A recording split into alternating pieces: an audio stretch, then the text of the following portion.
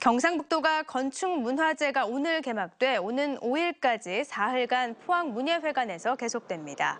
개막식에서는 대학생 우수 설계 작품과 기성 건축자들의 우주 건, 우수 건축물 그리고 건축 문화상에 대한 시상이 있었습니다. 또 경북 한옥 표준 모형 석점과 함께 종가 종택과 포항도시 변천사를 담은 사진도 전시되는 등 다양한 프로그램이 진행되고 있습니다.